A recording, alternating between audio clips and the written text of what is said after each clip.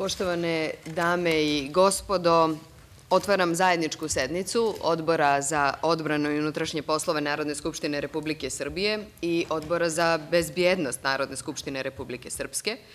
Konstatujem da je u sali prisutno 10 članova Odbora za odbranu i unutrašnje poslove i da sednici prisustvuje svih sedam članova Odbora za bezbjednost iz Republike Srpske.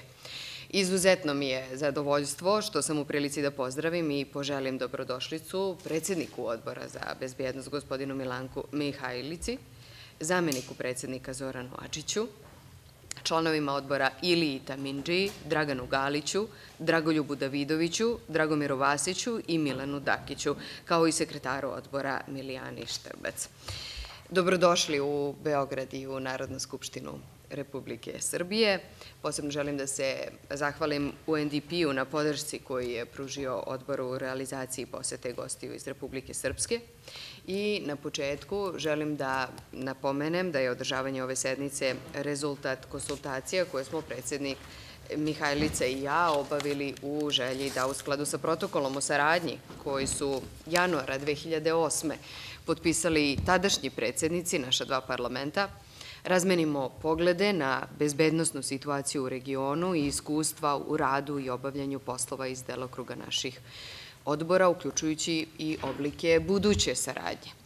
Verujem da delimo mišljenje da ovakvi susreti uz očigledan značaj za unapređenje odnosa Republike Srbije i Republike Srpske treba i mogu da daju poseban doprinos unapređenju razumevanja, saradnje i sveukupnog poverenja u regionu. Želim da istaknem da povod za održavanje ove sednice nije aktuelna bezbednostna situacija u Evropi s obzirom na to da se održavanje ove sednice planira već nekoliko meseci, ali da kada pričamo o bezbednostnoj slici našeg regiona i ulozi koju naši odbori imaju u nadzoru nad sistemom bezbednosti, trenutna dešavanja svakako ne možemo da zanemarimo. Imajući navedeno u vidu za ovu sednicu, planirali smo sledeći dnevni red – Tačka 1. Bezbednostna situacija u Republici Srbiji i Republici Srpskoj. Tačka 2. Zakonodavni okvir i aktivnosti odbora. Tačka 3. Razno. Ukoliko ste saglasni sa predloženim dnevnim redom, želim da predložim da rad po prve dve tačke dnevnog reda bude objedinjen, S obzirom na to da je praćenje stanja bezbednosti neodvojivo od nadzora nad sektorom bezbednosti i vršenja ovlašćenja koje u tom pogledu stoje na raspolaganju našim odborima. Dakle, ne bih e, želela da se bilo ko ustručava da isključivo govori po prvoj tački, a da ne uvrstimo u našu diskusiju dakle i ono što su naši okviri u, u kojima se kreće rad naših odbora. Ja bih e, želela, čini se takva atmosfera od samog početka tokom prepodneva, već kad smo razgovarali, da ovo bude sasvim otvorena, zaista prijateljska diskusija i o svim aktuelnim bezbednostnim rizicima koji nas, e, kojima smo izloženi e, i na jednoj i na drugoj teritoriji, ali da naravno ne zaboravimo da je ovo i e, sastanak o kome ćemo razgovarati kako funkcionišu naši odbori, šta je to što možda treba korigovati u buduće u radu jednog ili drugog odbora, pre svega kroz razmenu naših iskustava i e, ono što jeste vrlo važno i ja očekujem, a nadam se da ćete se i vi složiti, da mi dogovorimo neke naše buduće oblike saradnje, šta je to što može da e, pomogne da budu što češće intenzivniji susreti ova dva odbora, a da može dati e, dobre efekte na e, popravljanju nadzora nad sektorom bezbednosti i u Republici Srpskoj i u Srbiji. Gospodine predsedniče, izvolite.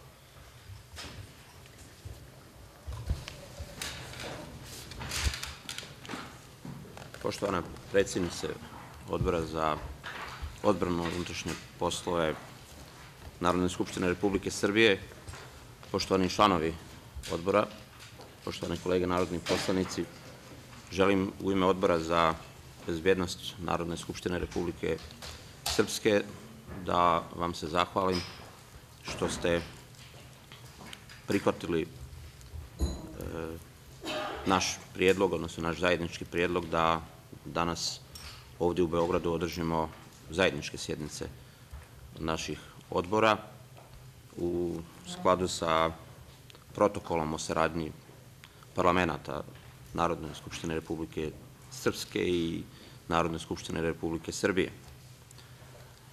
Želim da vam prenesem pozdrave i ostalih parlamentaraca. Čuo sam se sa predsjednikom Narodne skupštine Republike Srpske. E, Prenosim vam pozdrava dakle, u ime Narodne skupštine Republike Srpske i e, radujem se današnjem sastanku.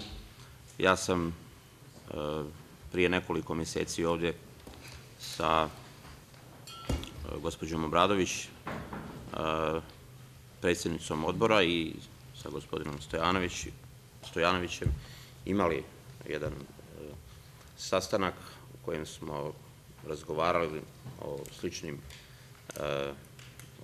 pitanjima i dogovorili se da unapredimo našu saradnju i otud i ovaj sastanak. Ja koristim ovu priliku da vas pozovem da dođete u Banja Luku i da održimo zajedničke sjednice naših odbora i u Narodnoj skupštini Republike Srpske. Biće nam čast i zadovoljstvo. Što se tiče bezbjednostne situacije u Republici Srpskoj, ja bih rekao i Bosni i Hercegovini, iako nadležnost našeg odbora je prije svega bezbjednost na prostoru Republike Srpske, ali nemoguće je ozbiljno ocjenjivati, analizirati bezbjednostnu situaciju u Republici Srpskoj, a da se ne uzmu u obzir i određene informacije, parametri o ukupnom stanju bezbjednosti u Bosni i Hercegovini u cijelini. Mi smo prije nekoliko dana zvanično kao odbor od strane Ministarstva unutrašnjih poslova informisani o stanju bezbjednosti u Republici Srpskoj. Stanje je na zadovoljavajućem nivou i pored brojnih izazova, naročito u posljednje vrijeme, koji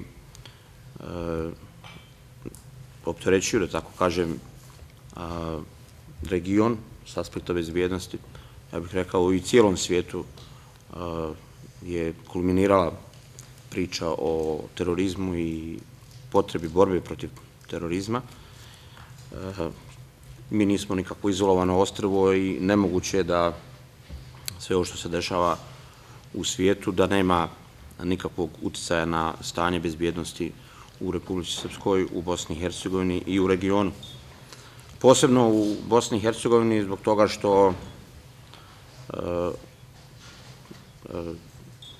kao što vam je poznato, u toku građanskog rata u Bosni i Hercegovini,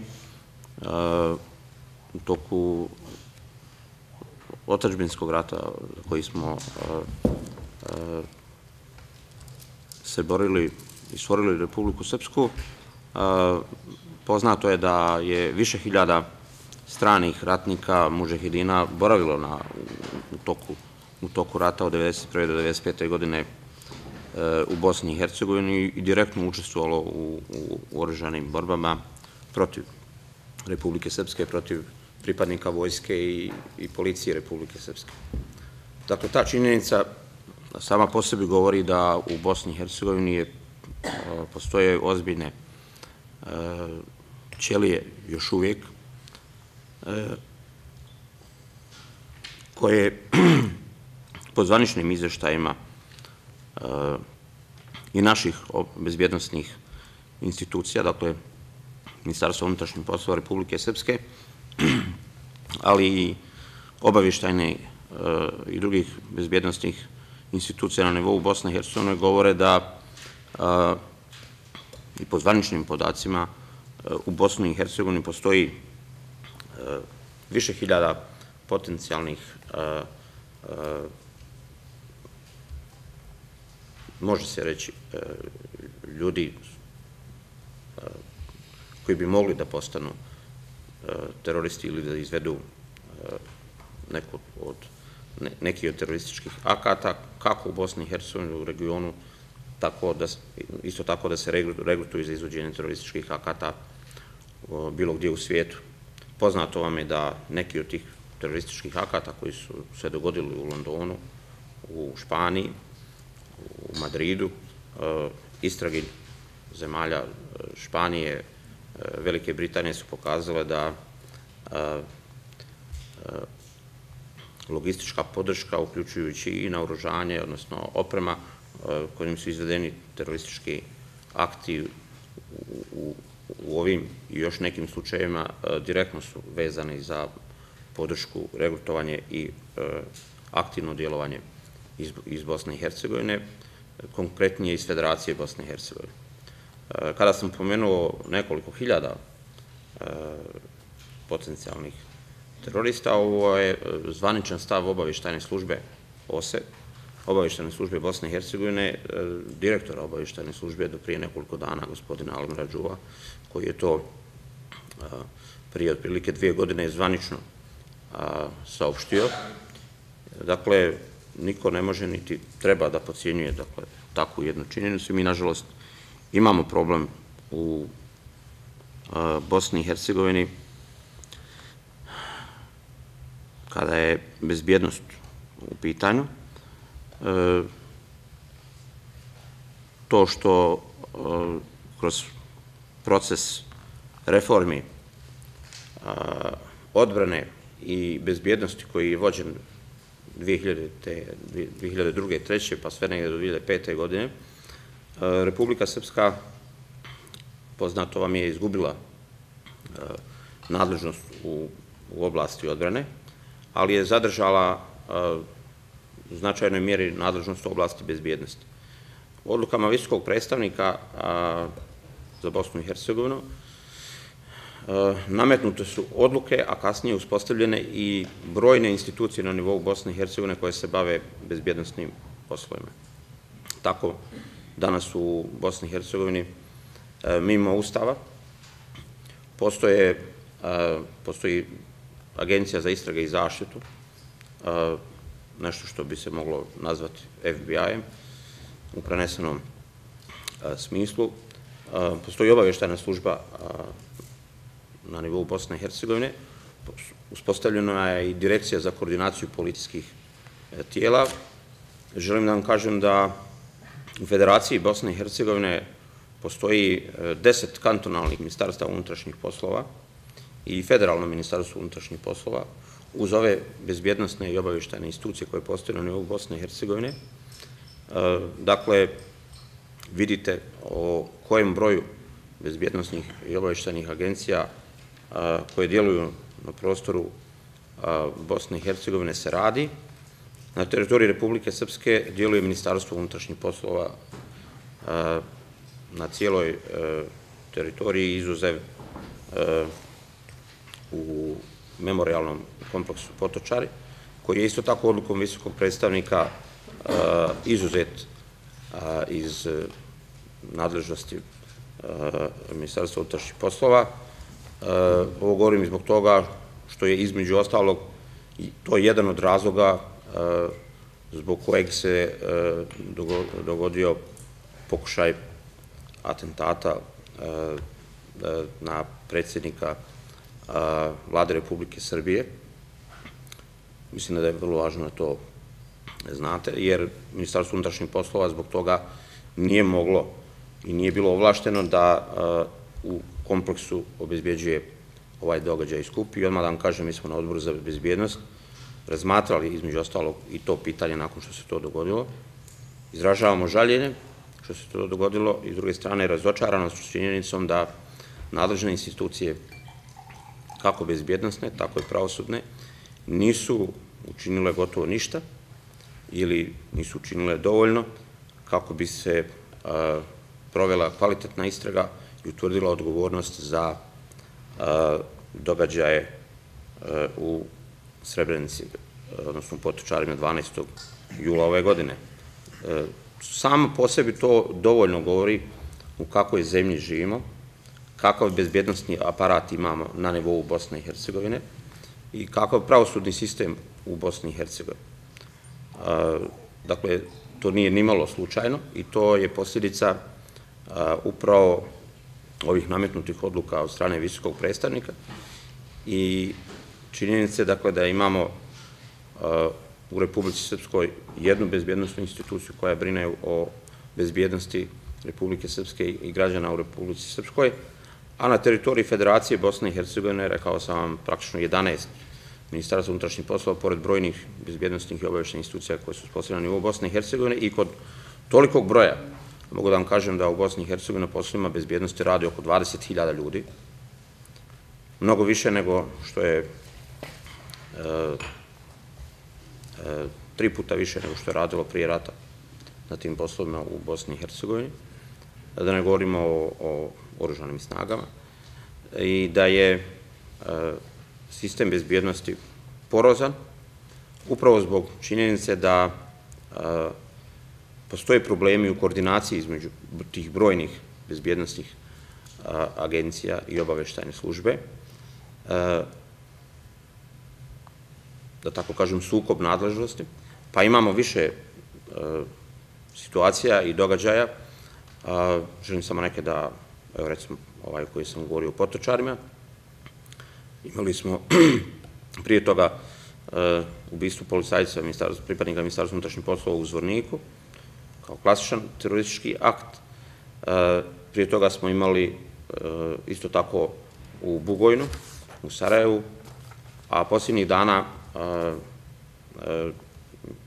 imali ste priliku da čujete da je bilo, da tako kažem, niz incidenata, od kojih je jedan okvalifikovan kao teroristički akt ubijstvo dva pripadnika oružanih snaga Bosne i Hercegovine u Sarajevu. Ako se tome doda i bacanje eksplozivne naprave na načelnika u koloni, na načelnika oružanih snaga Bosne i Hercegovine. E, Prekriče se dogodilo da je u Zavidovićima na policijsku stanici na teritoriji Federacije Bosne i Hercegovine isto bačena eksplozivna naprava. Dakle, ako bi se sada analiziralo bezbjednostno stanje u cijeloj zemlji, ono, ono se ne bi moglo ocijeniti zadovoljavajuće, prije svega iz ovih razloga o kojima sam govorio, zbog činjenice da e, postoji e, više bezbjednostnih institucija, agencija, službi, i nadležnosti, podijeljenih nadležnosti e, pravosudnih institucija koje bi po ovom pitanju trebalo da djeluju u skladu sa krivičnim e, zakonom e, Bosne i Hercegovine, odnosno krivičnim zakonom i ZKP-om Republike Srpske. To predstavlja ozbiljan problem, ne samo u borbi protiv terorizma u Bosni i Hercegovini, već i, već i u drugim aspektima iz nadležnosti Ministarstva unutrašnjih poslova i bezbjednostnih institucija u Republike Srpskoj i Bosni i Hercegovini.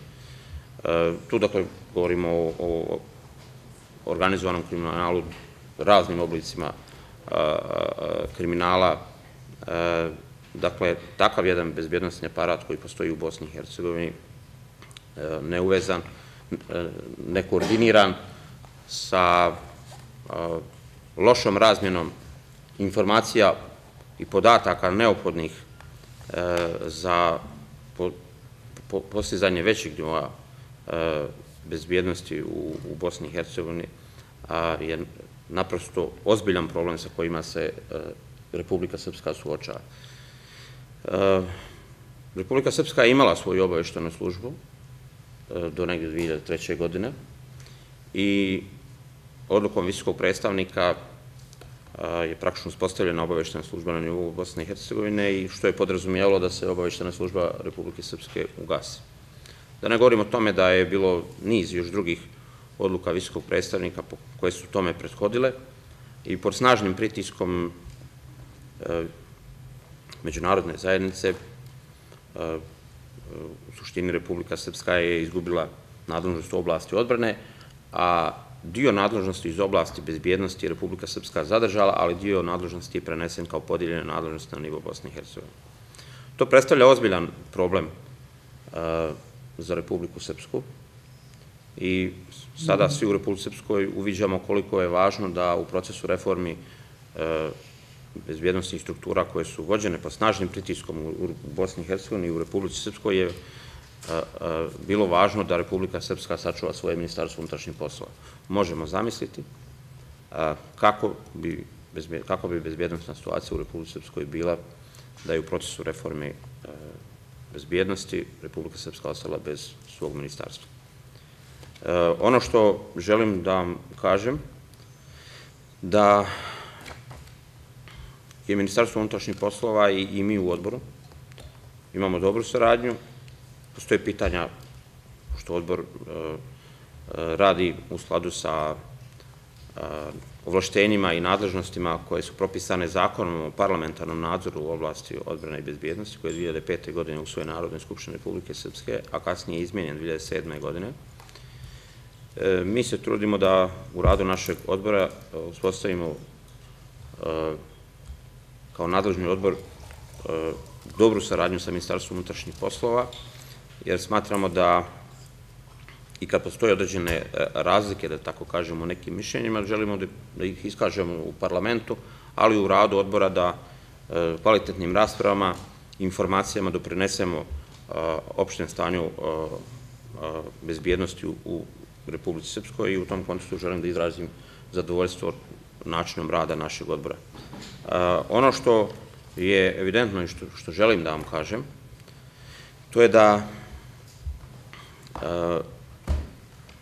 je loše to što je veoma loša u posljednje vrijeme po zvaničnim informacijama Ministarstva unutrašnjih poslova nešto bolja, ali u suštini loša saradnja između Ministarstva unutrašnjih poslova i razmjena podataka informacija bitnih za bezbjednost građana u Republici Srpskoj, između, dakle, institucija na nivou Bosne i Hercegovine, mislim na Agencije za istrage i zaštitu, obavištenu službu Bosne i Hercegovine, kantonalna ministarstva unutrašnjih poslova i federalno ministarstvo unutrašnjih poslova. Ovo mogu da vrlo argumentovano govorim o tome, zbog toga što sam imao razgovore na najvišem nivou sa predstavnicima najvišeg organa vlasti Republike Srpske i svjesni smo problema i te činjenice da Republika Srpska ne dobiva od e, nadležnih bezbjednostnih institucija sa nivoa Bosne i Hercegovine potrebne, potrebne informacije, s obzirom da e, bi bilo ne samo logično, nego prijeko potrebno da e, rukovodstvo Republike Srpske, vlada Republike Srpske, Ministarstvo unutrašnjih poslova i druge institucije Republike Srpske imaju sve neophodne informacije o stanju bezbjednosti u cijeloj zemlji, jer se bezbjednost u Republici Srpskoj e, ne može e, tretirati, odnosno ozbiljno ili mnogo teže sačuvati ili podići na, na, na viši nivo bez, bez razmjene tih informacija. I to je ono što predstavlja ozbiljan problem. Ja sam prije desetak dana bio na jednom skupu na kojem su bili u, na kojem su bili predstavnici svih bezbjednostnih institucija na nivou Bosne i Hercegovine i bili su predstavnici Ministarstva unutrašnjih poslova, ja kao predsjednik odbora. I mi iz Republike Srpskoje smo jasno poručili u suštini da je to vrlo ozbiljan problem i da se to mora promijeniti. Nedopustivo je da predsjednik Republike, vlada, nema određene informacije iz oblasti bezbjednosti i odbrane, iako, i to da vam kažem, u bezbjednostnim institucijama na nivou Bosne i Hercegovine na nekim čelnim pozicijama imamo imamo predstavnike iz Republike Srpske, odnosno Srbe iz Republike Srpske. Ali je sistem takav i zakon o obaveštajnoj službi da praktično ne postoji obaveza informisanja institucija Republike Srpske od strane obaveštajne agencije. I ako se to prepušta činjenice da je neko iz Republike Srpske pa će na određen način da Republike Srpskoj određene vrste informacija dostavlja, to nije rješenje i to nije ono što bi trebalo da bude, dakle da se zvanično od strane bezbjednostnih institucija Bosne i Hercegovine na nivou Bosne i Hercegovine dostavljaju procjene, informacije, podaci institucijama Republike Srpske i to je ono što predstavlja, još jednom ponavljam, vrlo ozbiljan, ozbiljan problem. U tom kontekstu mi smo razmatrajući stanje u više puta u ovoj godini, pošto je ovo prvi, prva godina mandata, ovog mandata Narodne skupštine Republike Srpske e, u ovom sazivu, e, više puta smo o tome razgovarali i mi smo svjesni ovih činjenica, zato smo se opredijelili i podržavamo Ministarstvo unutrašnjih poslova i vladu Republike Srpske u namjeri da dodatno ojača Ministarstvo unutrašnjih poslova u svakom smislu. Dakle, to podrazumijeva u kadrovskom, organizacionom, materijalnom, u smislu opremanja, snaga Ministarstva unutrašnjih poslova i svega onoga što je neophodno da bi Ministarstvo unutrašnjih poslova moglo u skladu sa Ustavom i zakonom obavljati svoju funkciju, a to je zašta bezbjednosti e, građana i Republike Srpske u cijelini. U tom kontekstu se mogu očekivati konkretne aktivnosti e, narednom periodu. To bi podrazumijevalo između ostalog da se Ministarstvo unutrašnjih poslova i, e, da tako kažem, kadrovski osnaži i po broju i podmladi, ali i dodatno opremi sa neophodnom potrebom opremom koja je potrebna Ministarstvu unutrašnjih poslova, pogotovo za izvođenje najsloženijih bezbjednostnih i policijskih zadataka, posebno borbi protiv terorizma, organizovanog kriminala. I poznato mi je da, između ostalog, ta vrsta saradnje i između Ministarstva unutrašnjih poslova Republike Srpske i Ministarstvo unutrašnjih poslova Srbije postoji, ona je na zavidnom nivou i mi to podržavamo. Smatramo da to treba, koliko god da smo s time zadovoljni, još unaprijediti i na razne načine, između ostalog i zbog toga što e, je Republika Srbija garant, jedan od potpisnika Dejtonskog mirovnog sporazuma, imamo sporazum o specijalnim paralelnim odnosima i vezama i ne sprečava Republiku Srpsku i Republiku Srbiju, između ostalog da sarađuju i u ovoj oblasti, pogotovo u oblasti razmjene informacija koje su bitne za bezbjednost Republike Srpske, ali to se to podrazumijeva da je važno da se takve vrste informacija razmjenjuju i sa ostalim zemljama i drugim zemljama u regionu, s obzirom na, prije svega, na ovu priču oko terorizma koja je, koja je, da tako kažem, aktuelna posljednje vrijeme. Želim isto tako da vam kažem da je došlo do promjena na čelu bezbjednostnih institucija SIPE, obaveštajne službe posljednjih dana. Na čelu Ministarstva bezbjednosti je iz Republike Srpske ministar, i mi očekujemo da gleda, uključujući zamjenika direktora obaveštajne službe,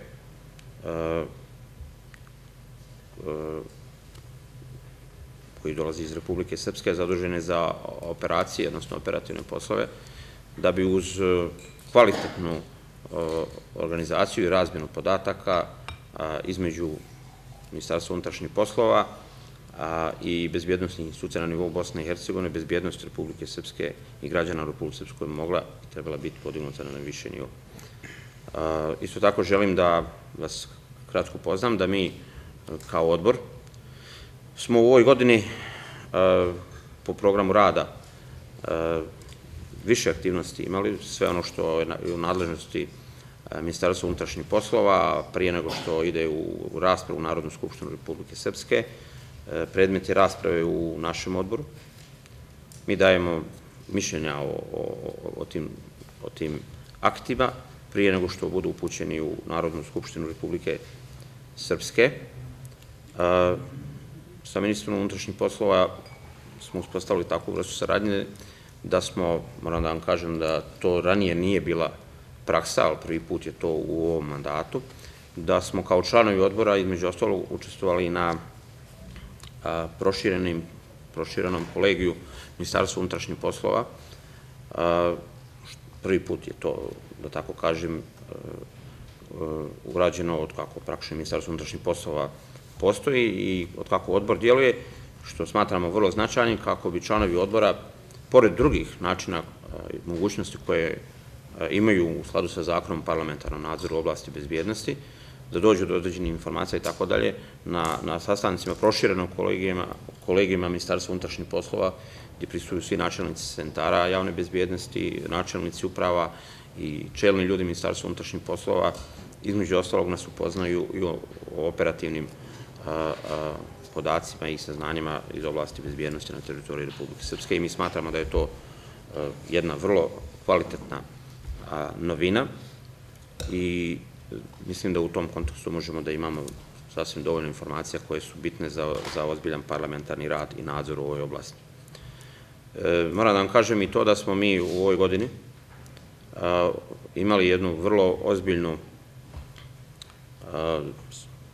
tematsku sjednicu koja se ticala jednog vrlo, jednog vrlo izraženog problema u Republici Srpskoj, a to je rada, rada tužilaštva i suda Bosne i Hercegovine po pitanju procesiranja ratnih zločina, predmeta ratnih zločina, jer Republika Srpska ima ozbiljnu primjedbu, vrlo argumentovane primjedbe na rad tužilaštva i suda Bosne i Hercegovine i one su, da vam kažem, uspostavljene odlukama visokog predstavnika praktično institucije koje nisu ustavne, dakle one ne postoje ustav u Bosni i Hercegovine, ali postoje u stvarnom, realnom životu u Bosni i Hercegovini i predstavljaju, između ostalog, ozbiljan problem koji je izražen između ostalog u Narodnoj skupštini Republike Srpske donošenjem odluku o raspisivanju referenduma o, između ostalog, o radu tužilašta i suda Bosne i Hercegovine. Mi smo kao odbor, zajedno sa odborom za boračku invalidsku zaštu, u suštini pokrenuli prvi taj korak i mi smo radili na tome da se Narodna skupština odredi i pripremili zaključke za Narodnu skupštinu, koja je Narodna skupština usvojila zajedno sa odborom za boračku invalidsku zaštu, u kojem smo vrlo argumentovano pokazali da rad tužilaštva i suda Bosne i Hercegovine od osnivanja do danas je pristrasan na štetu Republike Srpske e, i na osnovu toga su pristekli određene odluke Narodne skupštine. Ovo govorim iz razloga što rad pravosudnih institucija, ovakav rad, prije svega tužilaštva Bosne i Hercegovine, može da utiče između ostalog i na opšto bezbjednostno stanje i situaciju u Republike Srpskoj i cijeloj zemlji. I zato smo se između ostalog bavili tim pitanjem. Mi smo isto tako, s obzirom da su nas prošle godine zadesile katastrofalne poplave, organizovali tematski skup na, na temu zaštita i spasavanja ljudi i materijalnih dobara, kojim smo analizirali zakon o zaštiti spasavanju ljudi i materijalnih dobara u Republici Srpskoj i s obzirom na iskustva pripremili smo Narodnoj skupštini e, Republike Srpske e, zaključke kojim želimo da e, se analizira postojeći zakon, zakonska rješenja, organizacija, opremanje snaga civilne zaštite, finansiranje i sve ono što je zakonom regulisano kako bismo na neki način uspostavili sistem koji bi efikasnije mogao da zaštiti ljude i materijalna dobra u Republici Srpskoj, da, kako bismo izbjegli ljudske tragedije i materijalnu štetu koju smo, nažalost, imali. Isto tako, u planu imamo da organizujemo e, skupove e, koje se odnose na borbu protiv terorizma i borbu protiv organizovanog kriminala. Kao ja bih rekao, u ovom trenutku dvije e, sa bezbjednostnog aspekta, dva najveća izazova i taj posao ćemo da uradimo e, dio tog posla do kraja ove godine, a u sledećem kvartalu, prvom, prvom kvartalu sledeće godine ćemo taj posao sigurno da završimo i da Narodnoj skupštini Republike Srpske predložimo e, zaključke e, vezano za ove, ove dvije vrlo značajne teme. E, dakle, dosta smo radili, želimo da, zato sam nasao da objedinim praktično ove dvije tačke dnevnog reda, dosta smo radili i radit ćemo i dalje na tome.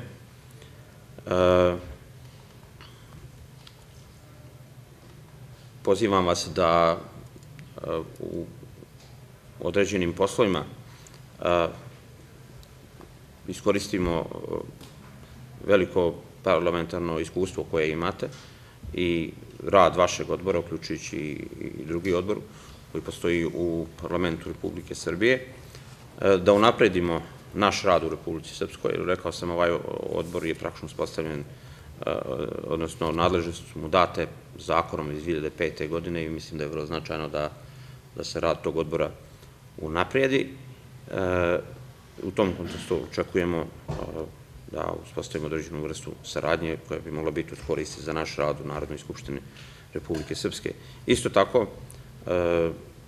mi ćemo organizovati neke od ovih skupova, pozvaćemo vas kao odbor, uključujući i predstavnike institucija Republike Srbije koje se bave ovim poslovima, da damo zajedničku ocjenu zajedno sa predstavnicima bezbjednostnih institucija na nivou Bosne i Hercegovine o opštem stanju bezbjednosti u Bosni i Hercegovini, dakle u borbi protiv terorizma, organizovanog kriminala i to je ono što namjeravamo da radimo u narednom periodu. Mi smo se dogovorili da unapredimo, odnosno da razgovaramo i oblicima saradnje između naših odbora. Mi vas pozivamo i izražavamo spremnost, dakle, da u svim aktivnostima koje mi organizujemo, koje su regionalnog karaktera i šire zajedno sa zajedničkom komisiju za odbranu i bezbjednost na nivou Bosne i Hercegovine sa kojim ćemo isto tako uspostaviti bolju saradnju jer smatramo da predstavnici Republike Srpske, kolege poslanici koji sjedaju u parlamentu Bosne i Hercegovine iz Republike Srpske, a koji se bave ovim pitanjima, treba sa nama iz Narodne skupštine Republike Srpske da postavi bolju saradnju nego što je to bilo do sada, do sada jer mi preko našeg odbora možemo da između ostalog imamo uvid i da tražimo uvid u stanje, odnose, probleme i u oblasti odbrane i oko Republika Srpska i tu nadložnost, nažalost, izgubila. Dakle, mnogo, mnogo je pitanja o kojima bi se moglo razgovarati, ali s obzirom da je ovo naša prva zajednička sjednica, mislim da je ovo i nešto više nego što je možda za početak i trebalo, ali sam htio da objedinim na neki način sve ove tri tačke i da vam se još jednom u ime odbora zahvalim što ste nas danas ugostili, a još jednom vas pozivam da u najskorije vrijeme budete naši gosti u Banja Luci Narodne skupštine Republike Srpske. Hvala.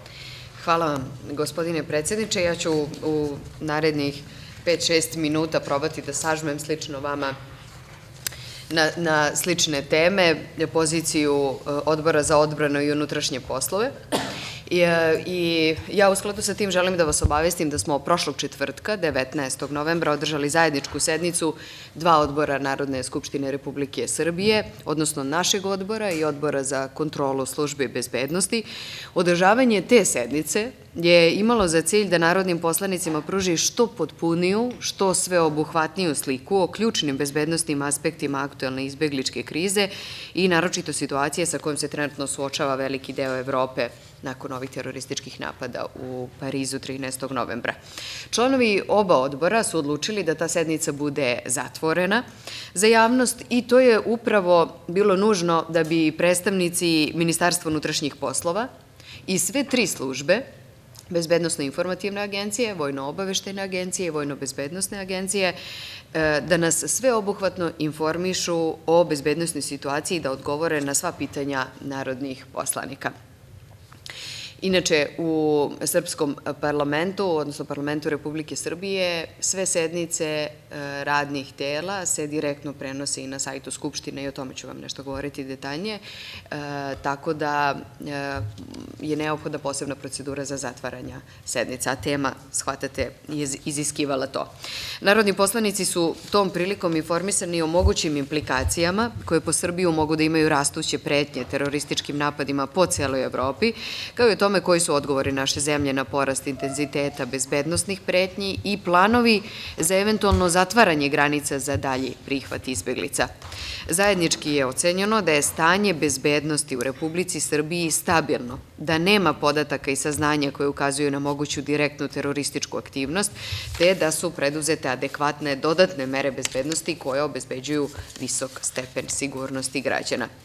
Činjenica je da na planu suzbijanja eventualnih terorističkih pretnji ključnu ulogu imaju službe bezbednosti i njihova preventivna delatnost.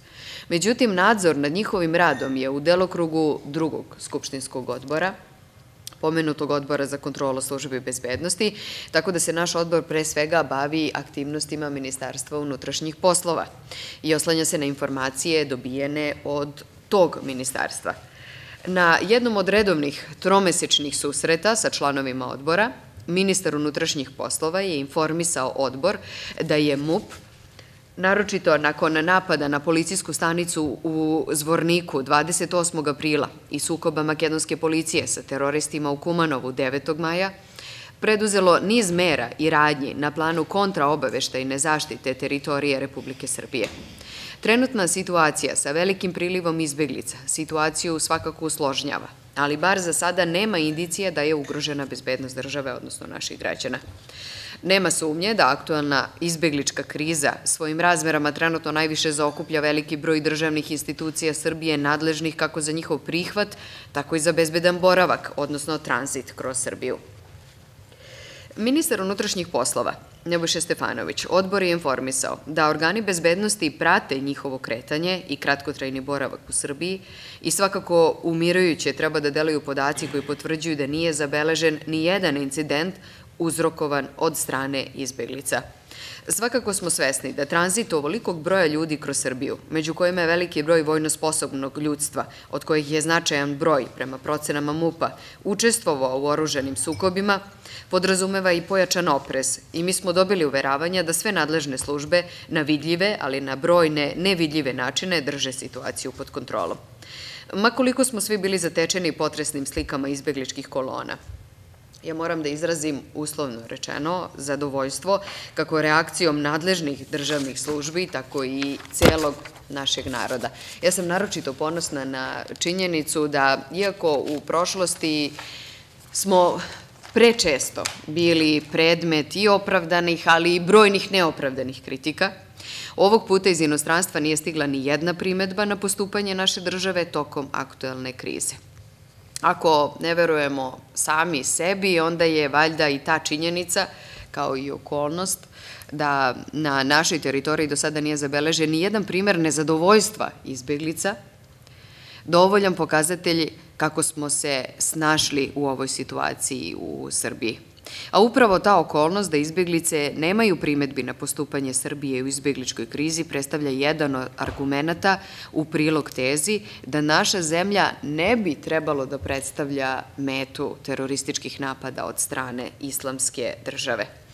Naša policija ostvaruje blisku i tesnu saradnju i razmenjuje informacije sa svim zemljama u regionu, Saradnja se ostvaruje i sa više međunarodnih institucija i to se mora shvatiti kao ključni put ka obezbeđivanju regionalne stabilnosti, regionalne bezbednosti, jer smo svi postali svesni da je bezbednost nedeljiva i da državne granice niti ograde ne garantuju bezbednost izolovano od ostatka regiona pa i celog kontinenta.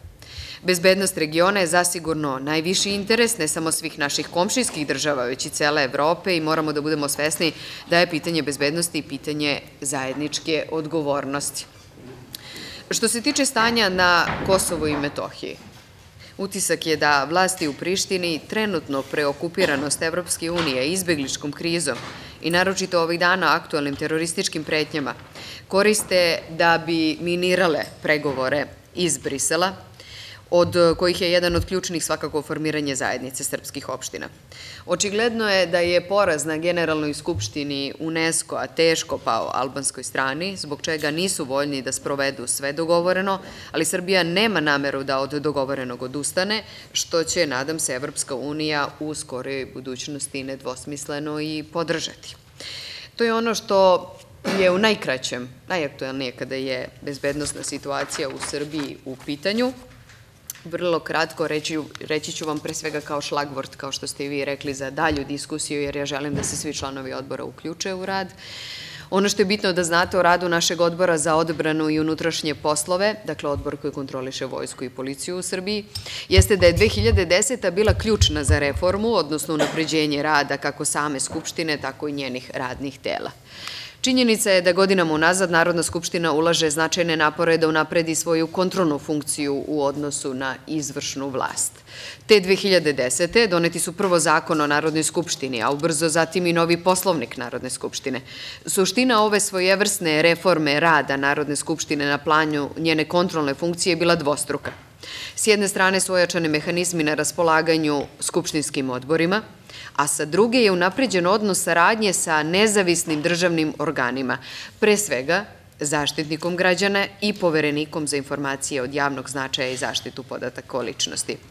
Broj skupštinskih odbora tada je smanjen sa 30 na 20. Nekadašnji odbor za odbranu i bezbednost je podeljen na dva nova odbora, tako što je kontrola nad radom službe bezbednosti dodeljena novom odboru za kontrolu službe bezbednosti, dok je nadzor nad sektorima odbrane i unutrašnjih poslova prenet u delokrug našeg odbora. Od tada i najveći broj skupštinskih odbora broji po 17 članova, a uveden je institut zamenika člana, tako da u radu našeg odbora mogu da učestvuju čak 34 narodna poslanika, dakle 17 članova i 17 zamenika. S tim što postoje pravila oko glasanja, naravno, kada je član, svi mogu biti prisutni, mogu i, osim članova i zamenika da prisustvuju i ostali poslanici, ali dakle pravo glasa imaju samo članovi, u trenutku kada tu nije član može da glasa zamenik, a e, poslanici koji nisu članovi našeg e, odbora mogu da diskutuju nakon što se istrpi lista svih govornika koji su članovi i zamenici. Za razliku od Crne Gore koja je donala poseban zakon o parlamentarnom nadzoru u oblasti bezbednosti i odbrane i napora da se i u Bosni i Hercegovini donese sličan zakon, u Srbiji se aktivnosti odbora za odbranu i unutrašnje poslove zasnivaju pre svega na odredbama Skupštinskog poslovnika – Zakon o policiji daje pravo odboru da od ministra traži izveštaje o svim pitanjima od značaja za rad odbora, uključujući izveštaj o radu sektora unutrašnje kontrole policije, dok zakoni o odbrani vojsci Srbije ne sadrže slične odredbe. Međutim, ono što je za rad našeg, pa i drugih skupštinskih odbora od ključnog značaja je poslovnička obaveza resornih ministara da svaka tri meseca informišu odbore o svom radu. Ta obaveza je još jedna novina iz 2010. i kao i svaka novina trebalo je vremena da se ustali u skupštinskoj praksi. Prvo je trebalo vremena ministarstvima da pripreme obavezu dostavljanja tromesečnih informacija u pisanoj formi. Pa je nakon toga trebalo vremena da su ustali i praksa redovnog pojavljivanja ministara, ministara lično, pred odborima radi odgovaranja na pitanja poslanika povodom podnete informacije i meni je zaista zadovoljstvo što mogu da kažem da u radu ovog saziva odbora, dakle od e, maja 2014. definitivno je uspostavljena ustaljena dinamika najmanje tromesečnog pojavljivanja pred članovima odbora oba resorna ministra lično i odbrane i unutrašnjih poslova. To nije prilika da se ministrima postavljaju samo pitanja o podacima koji su u nama dostavljenoj informaciji, već pretresu se i sva aktuelna pitanja za koje narodni poslanici misle da su bitni u tom trenutku. E, dostigavši potreban standard u pogledu redovnih susreta sa ministrima, trenutno su aktualne konsultacije o potrebi da se podigne standard kvaliteta podnetih informacija. Naime, činjenica je da su informacije o radu oba ministarstva sveobuhvatne i prilično su detaljne, ali članovi odbora sve više traže da se faktografski pristup njihove izrade zameni analitičkim pristupom, odnosno da se prezentovani podaci dovedu u kontekst sa očekivanim trendovima i daljim pravcima delovanja oba ministarstva. U tom smislu ja se nadam da ćemo mi u okviru odbora u najskorije vreme da dogovorimo šta je to na čemu ćemo insistirati da bude sadržano u budućim tromesečnim informacijama. Da bi se shvatili dometi ovih sednica sa propitivanjem ministara, Ja želim da posebno isteknem još jednu bitnu novinu, odnosno činjenicu da se od sredine 2013. sve sednice skupštinskih odbora direktno prenose na internet stranici Narodne skupštine.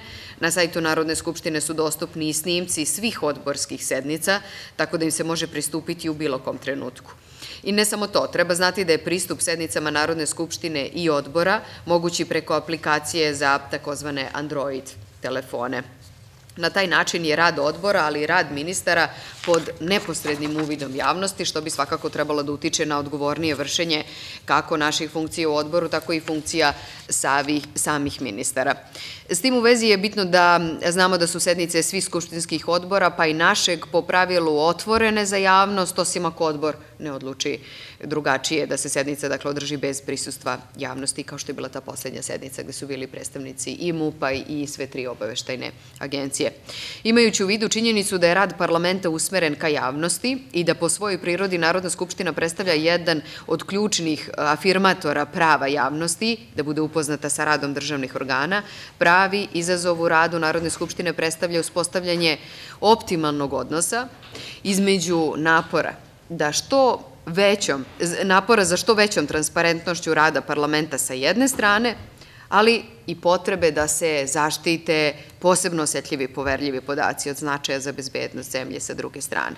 Ovaj svojevrsni sukob interesa dovodi do različitih stavova o tome da li zatvorene sednice odbora koje se bavi pitanjima bezbednosti treba da budu pravila ili samo izuzetak. Što se tiče aktuelnog saziva Odbora za odbranu i unutrašnje poslove, naša današnja sednica je 45. po redu, za javnost je bila zatvorena samo jedna i to je ta od prošlog četvrtka. Želim samo još nešto da iznesem, tiče se funkcije predsednika odbora, na imeni zakon o Narodnoj skupštini ni poslovnik ne uređuju e, način njegovog izbora, tako da e, je to pitanje predmet političkog dogovora između poslaničkih grupa, iako postoje primeri iz uporedne prakse, da se mesto predsednika odbora koje se bave pitanjima bezbednosti prepušta predstavniku opozicije, Novi poslovnik Narodne skupštine nije predvideo ovakvo rešenje i činjenica je da je predsedavanje odborom od strane opozicije nezvanično primenjivano u periodu od 2004. do 2010. ali u praksi takvo rešenje po mnogim ocenama nije dalo očekivane, odnosno željene rezultate. Predsedavanje odborom je u mnogome služilo za vođenje stranačkih politika umesto da se iskoristi za bavljanje pitanjima od značaja za nacionalnu bezbednost, ali to je uvek na jednoj oštrici neke, nekog osjećaja za ličnu meru i želje da se zloupotrebi, odnosno instrumentalizuje rad odbora. Na kraju, e, moram da kažem da smo e, svi svesni da uspešan parlamentarni nadzor, osim pisanih ovlašćenja i mehanizama, podrazumeva pre svega uspostavljanje prakse njihovog redovnog i efikasnog korišćenja, poslovnički i zakonske odredbe predstavljaju, da tako kažem, samo mrtvo slovo na papiru ako nisu oživljene kroz rad narodnih poslanika i kroz interakciju sa resornim ministarstvima koje i treba da kontrolišu i to je jedini način da se eliminiše taj odavno uspostavljen disbalans moći između izvršne i zakonodavne vlasti. To u svim zemljama u svetu e, postoji taj problem.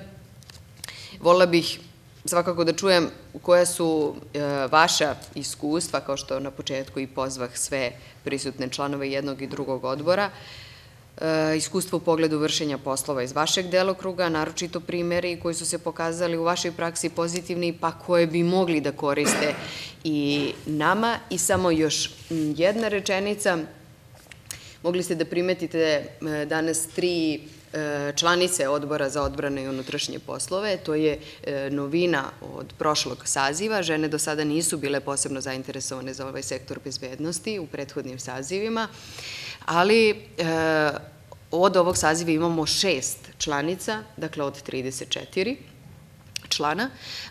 Sve su izuzetno aktivne, dakle nemamo koleginice koje su, ne zamerite, dekoracija u našem odboru i o tome treba da govore i drugi članovi, ali je zanimljivo da je prvi put u istoriji Srpskog parlamenta žena na čelu ovog odbora, a o efektima mog predsedavanja pričat ćemo u narednim godinama. Nadam se da će biti uglavnom e, pozitivni. E,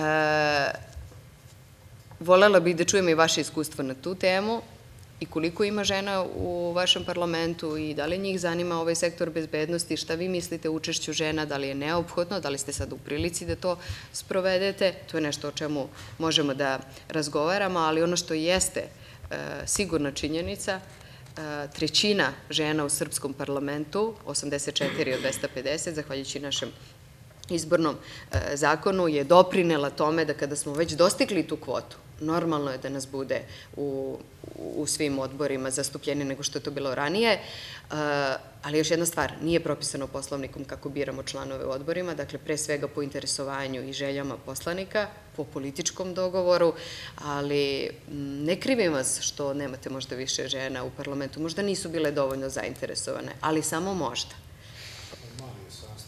Evo, hvala vam, ja otvaram diskusiju, dakle, otvoren je i za članove jednog i drugog odbora. Ima li sada? E, Zoran Babić, izvolite.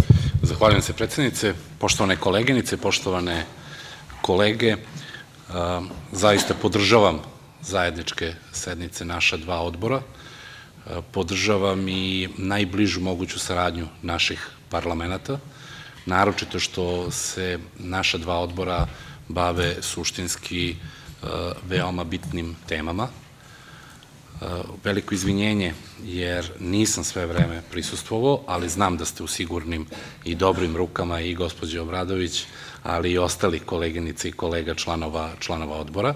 Takođe vam upućujem izvinjenje da zbog veoma aktivne, aktivnog dana u Narodnoj skupštini morat ću jako brzo da napustim uh, ovu, ovu sednicu.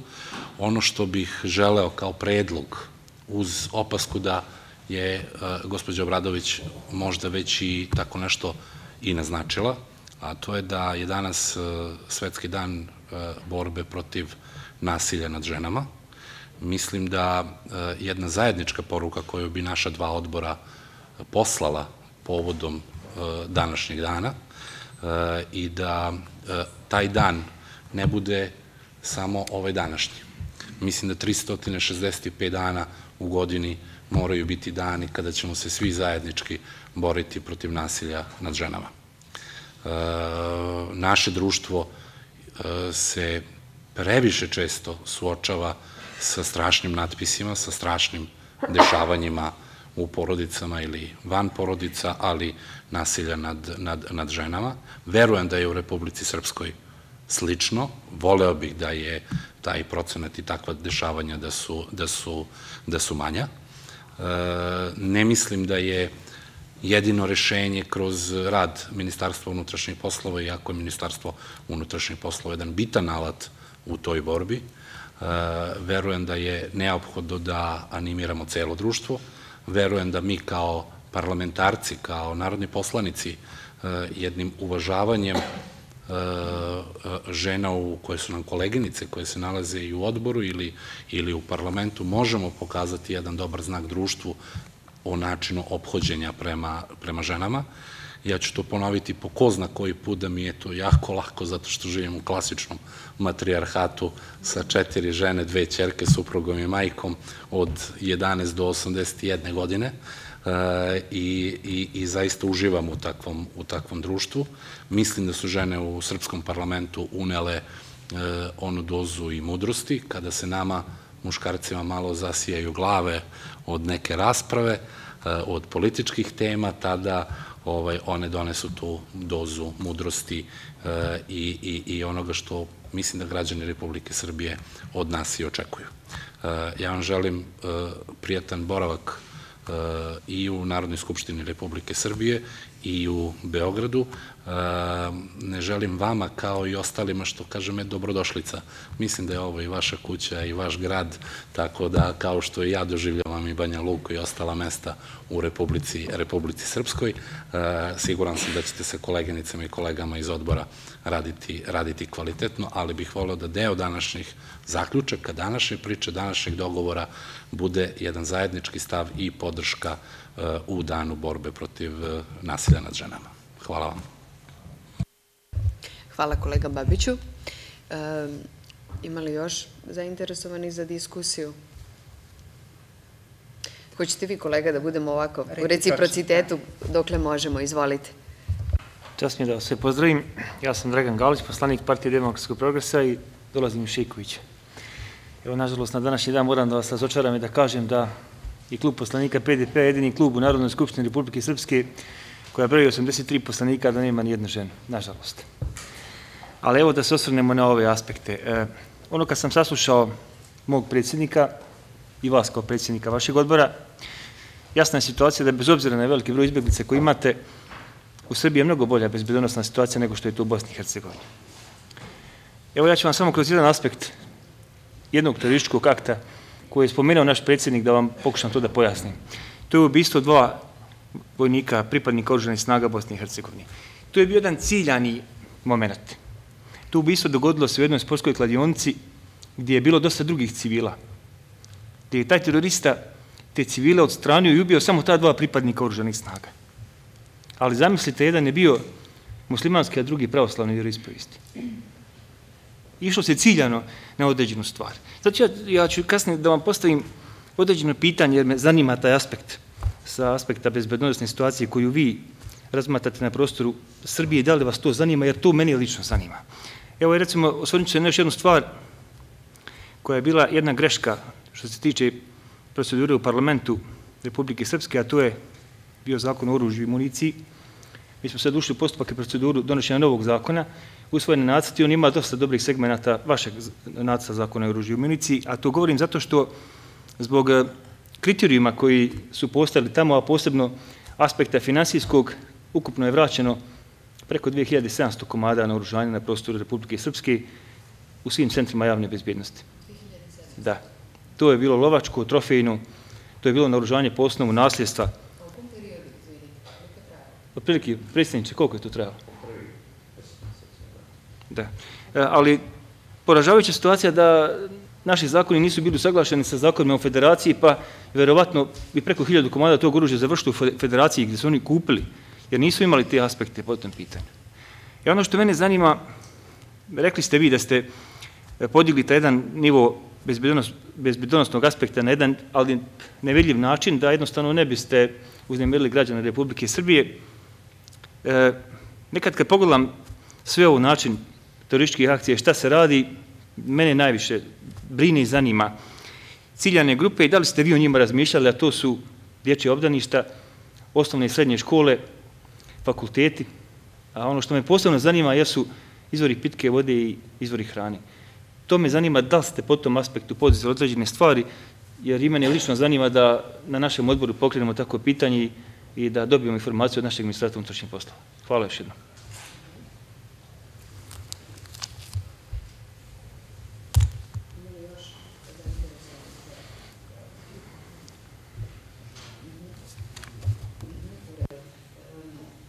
Evo ja vam mogu odgovoriti. Dubravko Filipovski, takođe kolegini se prijavila, Aleksandar Marković. Da. E, ja vam mogu reći samo ono što, što smo mi e, negde kroz ove zaključke sa te zatvorene sednice i e, izneli u javnost, da jeste razgovarano i o tome. Bilo je i kroz medije dosta akcenata šta je sa vrtićima, šta je sa školama, sa tim objektima, tržnim centrima, tamo gde se okuplja mnogo ljudi i što može biti potencijalna e, meta terorističkih napada. I vi ne možete u ovom trenutku primetiti to vidljivo. Oni ljudi koji prate i koji se bave time možda i mogu, ali zaista se trudimo da se e, održi ta atmosfera, ako je prava reč, koliko je god moguće relaksirano u javnosti, da se ne prave dodatne tenzije. Mi smo multinacionalno, multiversko društvo i vrlo je važno da se taj stepen tolerancije e, drži na određenom nivou. Vi kroz medije, kroz čini mi se nepromišljene izjave određenih funkcionera i političara možete napraviti veliku štetu. A da one u tom trenutku nemaju e, mnogo veze sa realnošću, nego neko možda želi da postigne neki politički poen ili da bude zanimljiviji medijima. E, I sami radite e, sa medijima i znate koliko je njima zanimljivo da dobiju jednu disonantnu izjavu. Dakle, svi smo ne na, osnovu dogovora, nego na osnovu ličnog utiska sa bezbednostnim službama u utisku da u ovom trenutku nema indicija da su mogući teroristički napad. To niko ne može reći sa 100% sigurnosti. Ali u ovom trenutku, na osnovu informacija ove tri obaveštajne agencije, e, vrlo je mali e, postotak za mogućnost da se tako nešto dogodi. E, pojačeni su, pojačeni rad Ministarstva unutrašnjih poslova, ali ne do te mere da uznemirava građane. Ti nevidljivi načini se uglavnom e, odnose na obaveštajni rad i na osnovu toga se planiraju dalje akcije. Ono što jeste vrlo važno, što je na sednici e, Biroa za koordinaciju na sednici Saveta za nacionalnu bezbednost dogovoreno, to je da postoje planovi za postupanje u slučaju zatvaranja granica, u slučaju određenih terorističkih napada.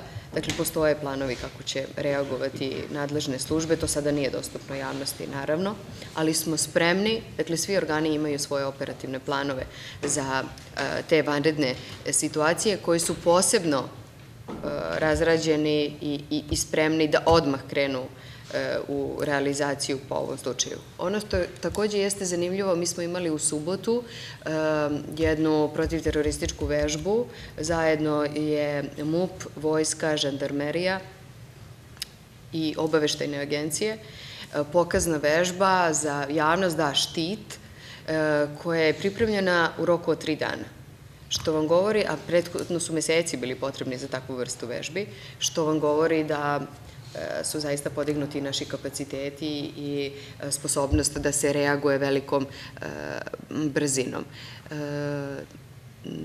nisu do mene stigle informacije da je neki deo bezbednostnih struktura ili nekih pripadnika da su nezadovoljni onim kako se sada, do sada radi, ali još uvek nismo, osim ovih objekata koji su vezani za uslovno rečeno, muslimane, dakle različite džamije ili neke druge vrste institucija, e, dakle ono što može da bude sada razlog. Ali nema uopšte takvog raspoloženja u našem stanovništvu.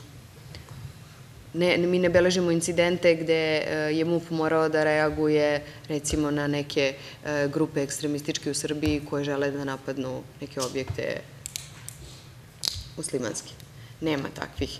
Zato što se mnogo radi na tome, mnogo i ministar e, unutrašnjih poslova i premijer i mnogi drugi ministri pozivaju na e, trpeljivost, na toleranciju, na e, stabilnost i mislim da to u ovom trenutku je urodilo plodom.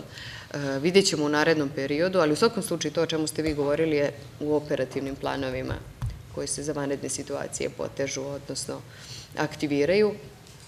A ja pretpostavljam da ćete vi moći na vašem odboru da dobijete detaljniji odgovor od vaših bezbednostnih struktura, jer zaista u nezavidnosti situaciji zbog strukture mm, vašeg stanovništva u svakom slučaju. Koleginica Dubrovka Filipovski. Predsedavajuća, veliko mi je zadovoljstvo što su danas svi članovi odbora za odbranu za bezbednost Republike Srpske u Beogradu i što E, imamo u Beogradu upravo u Narodnoj skupštini Republike Srbije zajedničku e, sednicu. Potpuno je jasno svima nama da situacija u kojoj se nalazimo, pre svega bezbednostna, zahteva pojačanu saradnju u oblasti bezbednosti, u oblasti migranske krize, terorizma koji je sve više prisutan na našim prostorima, ali kao što ste vi, gospodine Mihajlica, rekli, elementarnih nepogoda i u tom smislu mislim da e, ovi naši zajednički sastanci, zajedničke sednice odbora daju e, jedan doprinos u tom smeru. E, ono što bi mogla da bude naša zajednička aktivnost, to je pre svega razmena iskustava oba odbora u sprovođenju kontrolne funkcije odbora, razmena naših zajedničkih iskustava u primeni zakona, u sagledavanju e, opšte bezbednosti, u opšte aktivnostima koje jedan i drugi odbor e, preduzimaju. E, kao što ste mogli da čujete, situacija je u Srbiji mirna i stabilna, ali su sve naše bezbednostne službe i snage podignute na, na jedan viši nivo, zbog toga što svaka zemlja može da bude na neki način meta terorističkih napada. Videli smo da i jedna Francuska, iako je bila pod posebnom lupom svojih bezbednostnih službi, nije mogla da se zaštiti od ovog kontinuiranog napada, što predstavlja jedan veliki problem, zato što ti teroristi deluju kao samostalni vukovi i vrlo ih je teško kontrolisati. Ono što želim ovom prilikom da vam kažem i da znate, da su kod nas u Srbiji tačno locirani e, te ciljne grupe, to je negde isto i dopuna možda odgovora na vaše pitanje, da ih naše bezbednostne službe prate i da u tom smislu do sada zaista nije bilo nikakvih, e, nikakvih problema.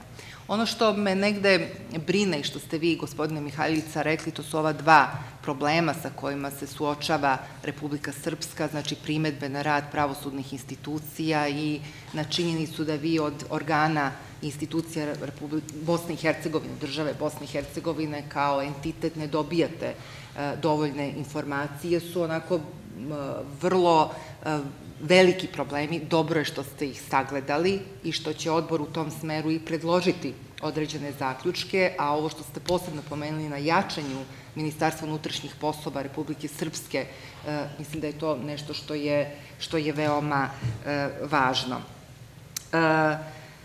I samo sam još žela da se nadovežem na, na ovo što je gospodin Babić rekao, s obzirom da je danas dan Svetski dan protiv žrtava nasilja i zaštite žrtava nasilja, želim da vam kažem da po svim istraživanjima u Srbiji građani i građanke Srbije kada je u pitanju zaštita od nasilja imaju najviše poverenja u policiju.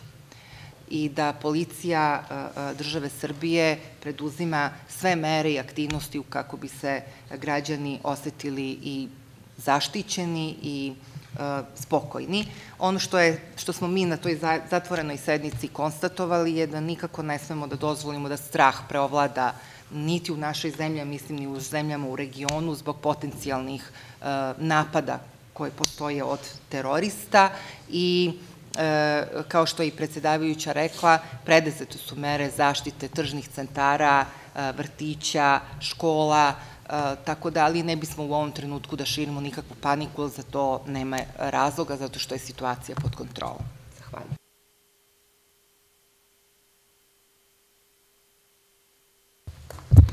Zahvaljujem, predsedavajuća. Pa ja bih želeo prvo da izrazim zadovoljstvo zbog današnjeg sastanka dva odbora, dva parlamenta, naše dve bratske zemlje. Eh, ali bih, Aleksandar Marković, dakle Srpska napravna stranka, zamljeg člana u ovom odboru, želeo bih da postavim jedno konkretno pitanje predsedniku eh, odbora, ponukan eh, onim što sam čuo, dakle, iz vašeg, ajde da kažem, sveobuhvatnog ove, izlaganja i zahvalan sam vam što smo u prilici danas da dobijamo potpune informacije o stanju bezbednosti u, u Republici Srpskoj.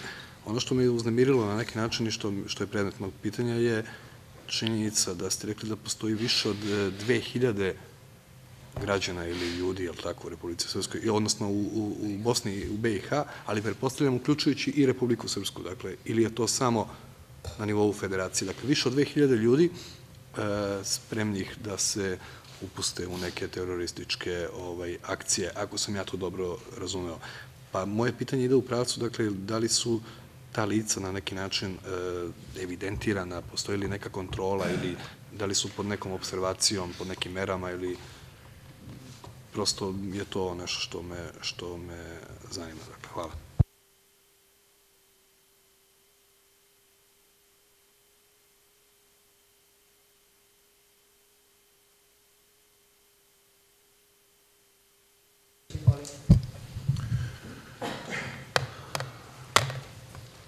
Stvarno sa velikim oduševljenjem prihvatam ovaj način saradnje i s velikim poštovanjem pozdravljam sve kolege danas koji su ovde došli iz Republike Srpske, unapred se radujući dubljoj i svestranijoj saradnji koju ćemo, siguran sam, ostvariti.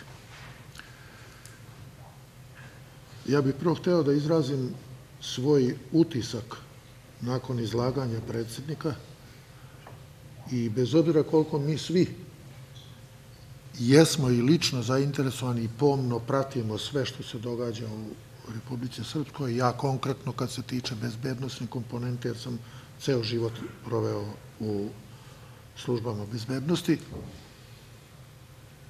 Danas sam ovde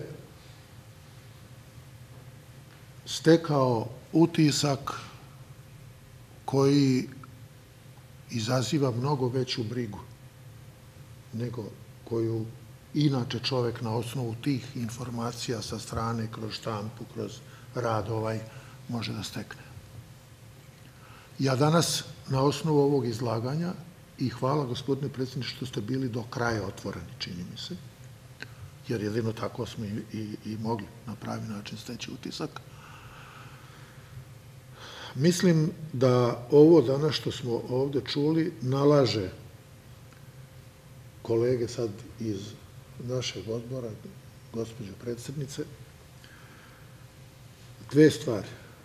Prvo, ovo što je ovde već rečeno, ja unapred to odmah se izjašnjavam i prihvatam, što intenzivniju saradnju ova dva odbora, kako bismo kolegama, dakle odboru Pandanu, omogućili što uspešniji i brži ulazak u sve poslove koji ih čekaju. Predsednik je rekao da su relativno od skora formirani ne traju dugo. Dakle, u prenošenju tih iskustava i druga stvar da ovaj naš odbor sa svoje strane, s jedne strane Skupštini, a s druge strane ministarstvima koje pokrivamo, sa svoje strane preporučimo, iako sam siguran da su dve vlade kad su se i razgovarale imale u vidu i tu bezbednostnu komponentu koja je sigurno bila značajna tema u tim razgovorima, ali da sa svoje strane preporučimo što, što, što veće, veću aktivnost s naše strane iz Srbije na osposobljavanju i pomoći snaženju bezbednostnih institucija Republike Srpske, pre svega Ministarstva unutrašnjih poslova, kao što je predsednik rekao, jer to je jedino još ostalo, kako sam razumeo, neokrnjeno. Odbrana je otišla, dođavala i tako dalje. I ono što je meni još značajno, da se ovaj obaveštajni rad, bez obzira što faktički ne postoji više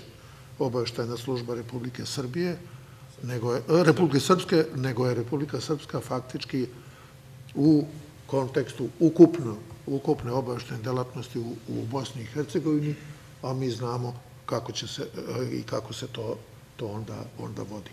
Dakle, da se ta, taj a, i zajednički da se iznađe mogućnost da se pronađe način institucionalni, smem reći ovdje, jer sami čak i van institucionalni, jer bez obaveštajnog delovanja Republike Srpske biće okrnjena kao što je svugde u svijetu u sistemu ukupne bezbednosti, bit će okrnjena mogućnost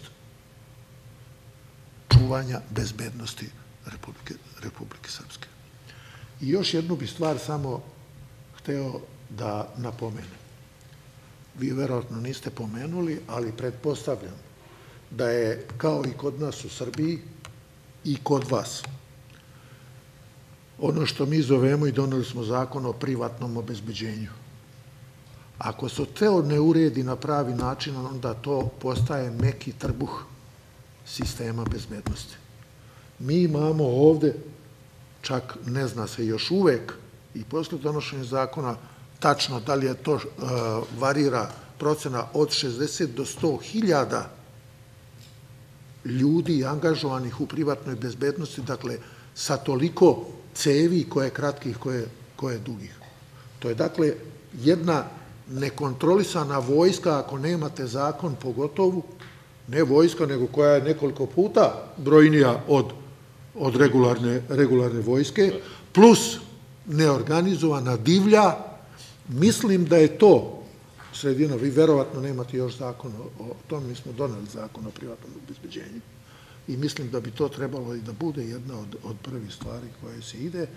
Mislim da je ta struktura privatnog obezbeđanja naoružanih ljudi bez a, nadležnosti države nad njima, potencijalna i velika opasnost i u ovoj situaciji, datoj konstelaciji narastajućih bezbednostnih problema, pa i, i, i pre svega tu kad je u pitanju terorizam.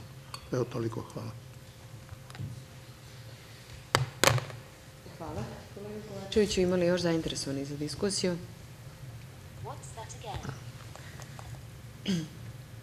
E, Hoćete li vi, možda predsjedniče, što se tiče ovog odgovora koji je kolega... ako- Hm?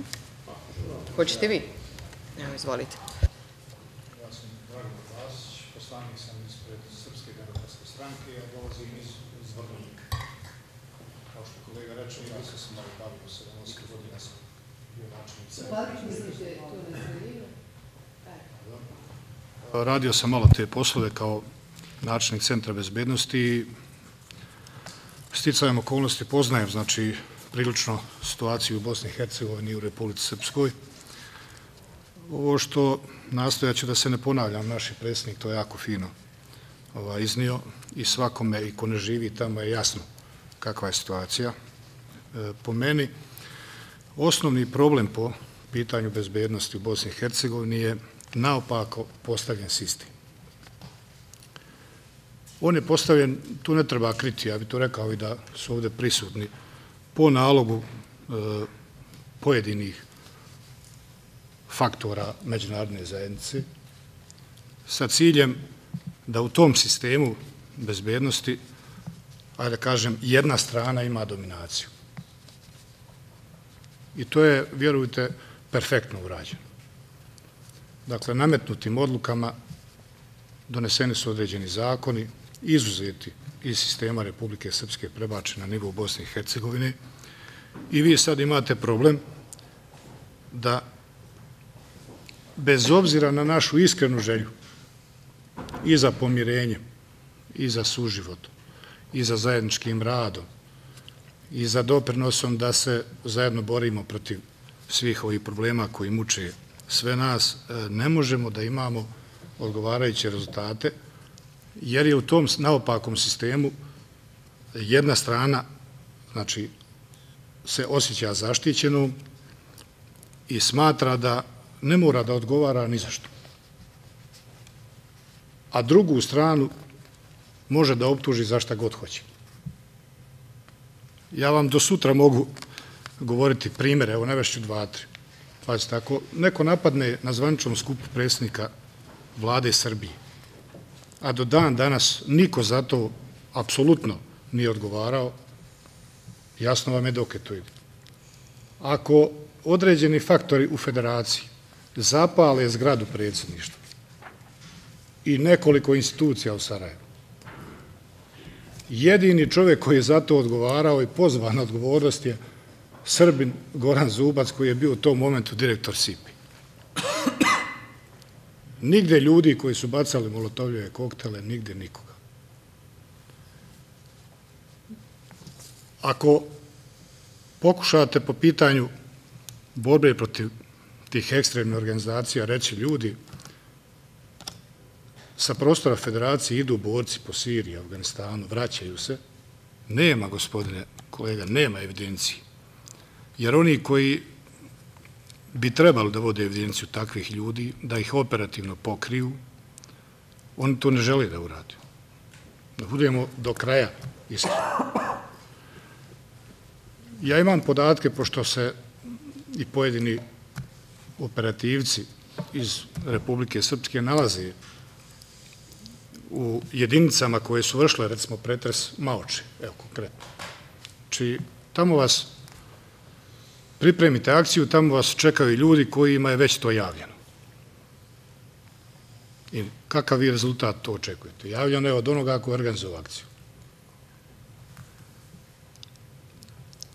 Ako tek kad se pojavi problem u kome je recimo američka ambasada napadnuta i čovjek koji je to uradio, pucajući na ambasadu, ne znam, Mevlid Jašarević, tek onda počinje malo da procuri to, ali je akcenat u vijestima da je on sa teritorije Srbije, a ne da je pucao na američku ambasadu. Znači, fantastično je razvijen sistem, naopaki, koji vi ne možete da da razbijete da bi zaista iskreno se pozabavili svim ovim problemima o kojima i mi danas govorimo. Prava je sreća zaista da je MUP ostao, da kažem, pod kontrolom Republike Srpske i nadamo se da evo, drago mi je da se kolega složio da možemo očekivati svaku vrstu saradnje čvršće i po pitanju i kadrova i obučenosti, jer to nam je zaista neophodno. E, Mi pokušavamo da po svim ovim pitanjima da budemo iskreni, napravimo neku saradnju, ali zaista teško ide. I Srbija je u određenom smislu mogla da provjeri oko rada suda i tužilaštva, recimo, i procesuiranja ratnih zločina. Hajde da, ako hoćemo time da se bavimo, pokušali ste i sa Naserom Orićem, i sa Ijupom Ganićem, i sa Agimom Čekuvom, i sa Jovanom Divjakom. Znači, ni crvene potjednice, ni bilo šta ne prolazi. Znači, istog momenta tužilaštvo preuzima predmete i nakon par dana obustaje.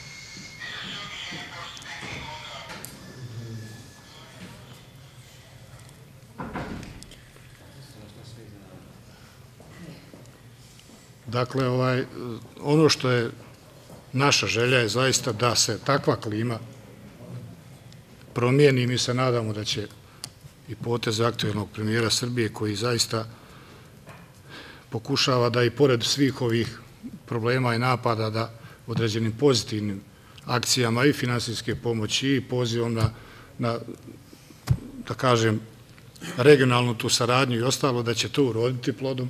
Mi smo sa svoje strane, bez obzira koja je to politička partija, jako raspoloženi da na kvalitetan način zaista e, otvoreno razgovarajući o svakom mogućem problemu damo svoj doprinos, ali u ovom momentu moja je procena, nek to bude moja lična, a ne, ne mora biti ni, ni partije, da na drugoj strani gdje očekujemo tu vrstu saradnje nemamo, nemamo ni, ni izbliza, ni pokušaja, ni u naznakama takve saradnje. E, zbog toga je jako bitno da e, pokušamo i mi kao odbor da održimo zajedničku sjednicu sa odborom sa, na, na nivou parlamentarne skupštine Bosne i Hercegovine.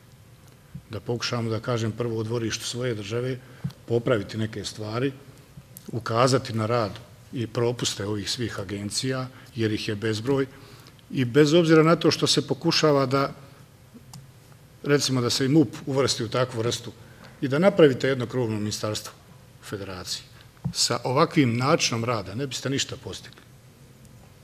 Znači, to je problem. E, želja za centralizacijom sa ciljem dominacije jednog faktora. I to je osnovni problem u ovoj saradnji, a svi smo svjesni da ovaj, u okruženju i u svijetu zaista su ogromni problemi. Ja sam vrlo zabrinut kao čovjek na koji će se način e, iznaći rešenje i sačuvati mir i na, i na Balkanu i šire. Hvala. Zoran Nadžić, izvolite. Pozdravljam predsjednicu, ostale kolege. Mi je zadovoljstvo što smo došli do ovakvog, što je došlo do ovakvog sastanka i mislim da to treba da postane jedna praksa u budućem periodu gdje bi mogli da sve probleme koji su vezani za prostor ne samo Republike Srpske, Bosne i Hercegovine i Srbije, nego i ovaj regionalni prostor da zajedno razmjenjujemo i da budemo i spremniji i operativniji u izazovima koji nas sigurno u narednom periodu zaista očekuju. Ovde bi lijepoj dami odgovorio da u parlamentu, odnosno Narodnoj skupštini Republike Srpske, procentualno gledajući negdje oko 25% je zastupljenosti ovaj, žena. Nažalost, osim sekretara u odboru za bezbjednost nemamo predstavnice ljepšeg pola, ali to ne znači da ne postoji zainteresovanost, pogotovo kroz visoke škole Ministarstva unutrašnjih poslova, kroz polaznike gdje je zaista e, značajan broj pripadnica ljepšeg pola koje završavaju najviše, najviše e, škole Ministarstva unutrašnjih poslova, odnosno akademije, i gdje one obavljaju određene i značajne dužnosti u Ministarstvu unutrašnjih poslova. Ovde bi odgovorio gospodinu Markoviću, odnosno i gospodinu, ne znam samo prezir, nisam Kovačeviću, ovaj, da zaista sigurno ima potreba za dubljom saradnjom po pitanju ovih grupacija koje smo rekli. Znači, nije to oko 2000, ja mislim da je predsjednik Republike Milorad Dodik neki dan ili uče čak ovde na konferenciji za novi rekao da se radi oko 3200. Znači, čak to je sa pozicije Republike Srpske koje mi imamo informacije, odnosno određeni krugovi bezbedonosni da postoje, ali javna tajna ljudi, da postoje centri, da postoje mjesta na prostoru federacije, gdje su kampovi, gdje su kuće, to se, znači, na jedan meki, soft način prilazi, kupuju se određena imanja, kuće, dolaze, naseljavaju se grupacije, u početku, startu, to se krije kao jedan vehabijski pokret, odnosno jedan drugačiji pristup, nije islamski pristup, ovaj, e, vjerski pristup, nego jednostavno jedan vehabijski pristup, iza čega se krije taj radikalizam. Mi smo imali slučaj, evo gospodin je Vasić i rekao, najavljenih akcija gdje se u novinama, u sredstvima informisanja, na e, elektronskim medijima pojavljuje zastava Isila, odnosno islamske države. Kada se krene operaciju, tog sve nestaje, nema, nema, ne postoji kao ništa. Narod je zaprepašten, otkud to, to kod nas ne postoji u našem mjestu. Znači, vrlo je ozbiljna situacija. To su takozvani spavači koji su spremni da se upuste u bilo kakve akcije, individualne ili e, kodirane, odnosno usmjerene. S druge strane, mislim da je vrlo opasna stvar da, nažalost, kroz ove prethodne neki period, možda godinu, dvije dana, odnosno te nekakve terorističke akcije koje su odvijale na prostoru Evrope, da se pokazivalo da tragovi vode upravo do Bosne i Hercegovine, upravo do tih nekih centara i da su tamo korišteni i ovaj oružje, odnosno oružana sredstva koji su proizvodnje iz Bosne i Hercegovine. Tako da, zaista, mišljenja smo svi kao i odbor i Ministarstvo unutrašnjih poslova da situacija nije nimalo bez, bezazlena, pogotovo u trendu ovih događanja, prijetnji, odnosno šta je osnovni cilj tih grupacija, odnosno tog terorističkog radikalizma, je da stvara nesigurnost u društvu, to je njihov prvi i osnovni cilj, a onda i te pojedinačne, da kaže, zločinačke akcije. U svakom slučaju, ovo bi trebalo da iskoristimo kao jednu, evo, našu prvu zajedničku sjednicu, da to postane tradicija i da nije više bitno da li se to održava u Beogradu, u Banja Luci, ali da postoji razmjena informacija.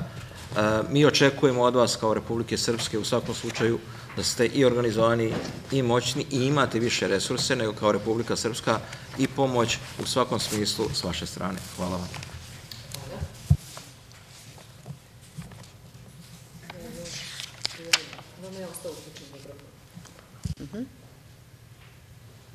Ja, šta, vi, kolega Mirko Čikiriz, izvolite. Ja sam Mirko Čikiriz, poslanik Srpskog pokreta obnove. Veliko mi je zadovoljstvo da prisustujem jednoj ovakvoj sednici. Pohvalio bih sve diskusije i vas, gospodine Milanko, na jednoj analizi koja je bila i sveobuhvatna i gde su jasni zaključci i jasne poruke. Činjenica je da se i Republika Srpska i Republika Srbija suočavaju sa dva identična problema. To je kako sprovesti ili biti saučesnik u regionalnoj bezbednosti, jer čini mi se mi zaista to je, dajemo obe države jedan puni doprinos i sve što je pridržavajući se i sobstvenih ustava i zakona i onoga što je deo bezbedonosne politike Evrope i sa druge strane činjenice je da obe države imaju neku vrstu obstrukcije i nametnutih rešenja koja nisu ili dogovorena ili potpisana ili u skladu sa Ustavom. Šta nam preostaje? Ono što je moj zaključak i verujem da ćemo se svi saglasiti.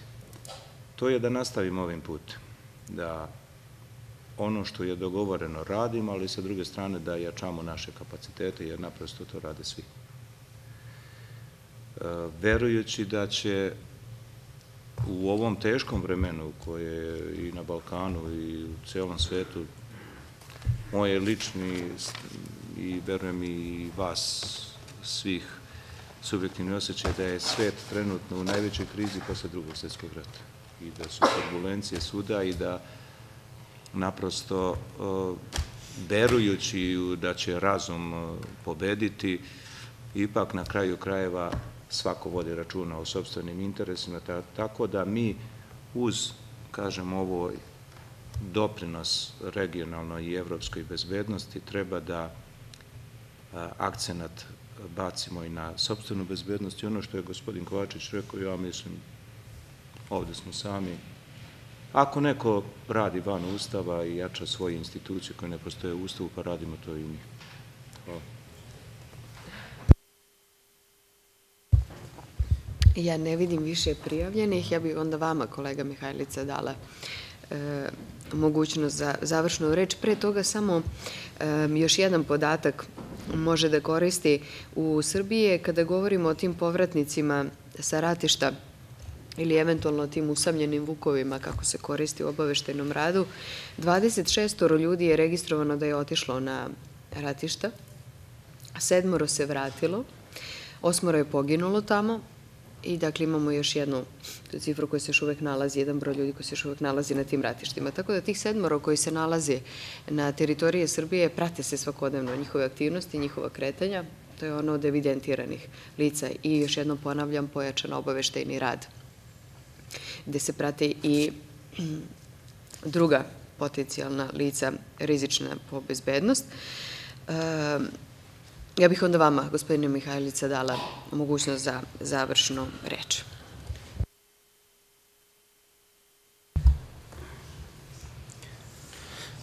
Hvala.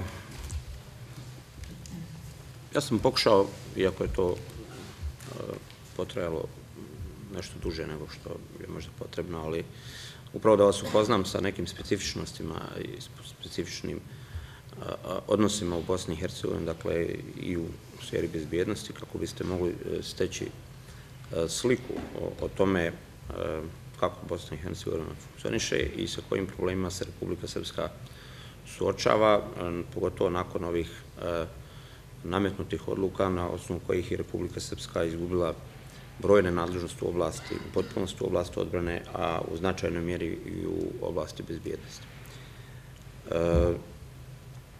Republika Srpska je svjesna. I u tom kontekstu postoji e, opšta politička saglasnost u Republici Srpskoj da jedino Republika Srpska i Ministarstvo unutrašnjih poslova uvažavajući bezbjednostne institucije na nivou Bosne i Hercegovine e, može pružiti potreban nivo zaštite i garancije za bezbjednost građanima Republike Srpske i Republike Srpskoj u cijelini. U tom kontekstu rekao sam već da Republika Srpska preduzima određene aktivnosti kako bi dodatno osnažila kapacitet Ministarstva unutrašnjih poslova. Dakle, to rekao sam, odnosi se na kadrovsku, organizacijonu, materijalnu, i svaku drugu pretpostavku koja bi trebala da dovede do toga da Ministarstvo unutrašnjih poslova bude u stanju da zaštiti bezbjednost svih građana u Republike Srpskoj. E, želim ovo da vam kažem, zaboravio sam da je između ostalog po prvi put u Ministarstvu unutrašnjih poslova formirana posebna uprava za borbu protiv terorizma od prije nekih pola godine i u razgovoru sa ministrom unutrašnjih poslova prije nekoliko dana e, e, najavljeno je, a evo i vama da kažem, Republika Srpska planira da donese e, zakon o borbi protiv terorizma. Dakle, Narodna skupština da donese taj zakon i da izmeni još određene zakone koji su iz oblasti unutrašnjih poslova, dakle zakon o policijskim službenicima i još neke zakone kako bi Ministarstvo unutrašnjih poslova bilo osposobljeno da u skladu sa ustavnim, e, ustavnim i zakonima odgovori svojim zadacima. E, međutim, svjesni smo e, političke, ekonomske bezbjednostne situacije i složenosti ustavno-pravne i teritorijalne strukture Bosne i Hercegovine i svjesni smo da nema pune i potpune garancije bez dobre saradnje i koordinacije aktivnosti između Ministarstva unutrašnjih poslova i e, bezbjednostnih institucija na nivou Bosne i Hercegovine, kako u smislu preventivnom, u smislu razmjene podataka i ne samo sa bezbjednostnim institucijama na nivou Bosne i Hercegovine, već i sa bezbjednostnim institucijama u regionu. Ne samo po pitanju borbe protiv terorizma, već organizovanog kriminala i drugih oblika ugrožavanja bezbjednosti. Ono što na neki način može da bude problem u ovom periodu ispred nas je ponovo taj dualizam, odnosno pokušaj da se na nivou Bosne i Hercegovine ponovo isto tako donesu neki zakoni ili uspostave neke institucije ili osnaže se određene nadležnosti e, institucija na nivou Bosne i Hercegovine upravo pod plaštom potrebe borbe e, protiv terorizma, a koja je naprosto nešto što e, je aktualno posljednjih mjeseci i godina. Ja se nadam da će Republika Srpska naći adekvatan odgovor i mogu da vam kažem da mi u odboru, e, kao i svakdje u svim odborima, postoji parlamentima, postoji, postoje poslanici koji dolaze iz vladajućih i opozicijnih stranaka, ali mi se trudimo i mislim da je to odgovorno i politički odgovorno i, e, tako i treba da radimo. Pokušamo u odboru da radimo sa što manje politike, a političke stavove ostavljamo u raspravama u parlamentu, što je sasvim i, i logično. Ali ono što treba da, da svakako ovaj, znate, to je da ovaj podatak koji, koji sam pomenuo je zvaničan podatak direktora obavještene službe Bosne i Hercegovine Almira Đuva, koji je razriješen prije nekoliko dana, imenovan je za ambasadora Bosne i Hercegovine pri misiji eh, Evropske unije u Briselu i NATO-a, koji je praktično direktor obavještene službe OSE, od kako je taj zakon nametnut i praktično obavlja funkciju direktora šest, sedam godina nakon što mu je istekao mandat. To u suštini govori o tome koliki je politički e, uticaj između ostalog e, političkih faktora iz Federacije Bosne i Hercegovine da se e, ovlada ili inkorporiraju kadrovi između ostalog i ratne muslimanske obavještene službe AIDA, u obavištenu službu Bosne i Hercegovine i to predstavlja u suštini jedan od najvećih problema u suštini to što Republika Srpska nema svoju obavištenu službu i nije bez razloga ona i ukinuta. I najveće primjedbe e, e, i se i odnose između ostalog na rad e, obavištene službe, a bez kvalitetnih i pravovremenih informacija i obavještenih podataka svaka borba protiv terorizma i drugih oblika ugrožanja bezbjednostnih izazova i u suštini na neki način e, otežana.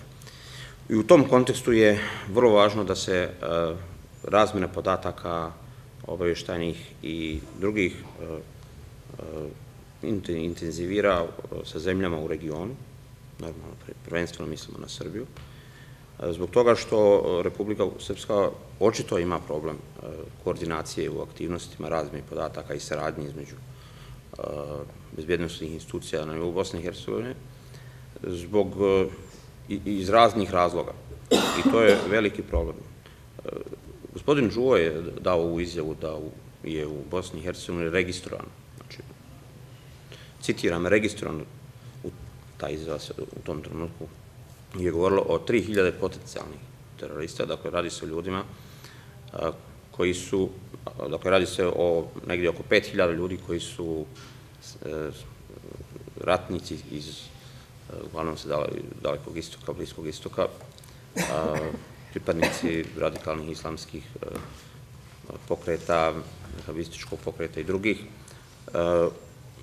uz podršku zapadnih obavještajnih službi i hrvatskih, u suštini uvezeni u Bosnu i Hercegovinu, pre svega na teritoriju Federacije Bosne i Hercegovine u toku rata i koji su ostavili, dakle, ostavili brojne posljedice. Ono samo da vam kažem da je po Dejtonskom sporazumu bilo predviđeno između ostalog da se oni protiraju iz Bosne i Hercegovine.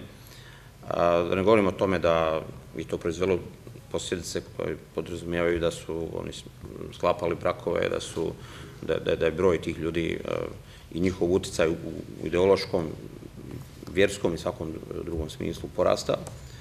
E, podaci govore da, e, e, dakle, to je zadnjičan podatak obavještene službe Bosne i Hercegovine, a mogu da vam kažem i za podatak da u, ovom trenutku se u Bosni i Hercegovini nalazi 50, e, oko 50 ljudi koji su bili na ratištu u Siriji e, i na drugim Afganistanu, e, koji su se dakle vratili, a više stotina njih i sada iz Bosne i Hercegovine učestvuje u, oružanim borbama u, Siriji. To samo po sebi e, dovoljno govori, ali ne treba da pocijenimo ili da govorimo samo o tome da ta žarišta ili e, e, sredine u kojima je vekabistički i neki drugi pokreti su vrlo organizovani, nisu samo na, na, na prostoru, oni su prvenstveno na teritoriji Federacije Bosne i Hercegovine, ali Ministarstvo unutrašnjih poslova vodi računa o tome i ima saznanja da se na teritoriji Republike Srpske u pojedinim dijelovima Republike Srpske isto tako postoji određena određene grupe koje su organizovane ili, ili imaju takvu vrstu pretenzija i namjera. Mi to ne želimo pocijeniti i Ministarstvo unutrašnjih poslova nas uvjerava da preduzimaju neophodne aktivnosti ne samo na lociranju evidenciji tih lica, već i druge aktivnosti neophodne.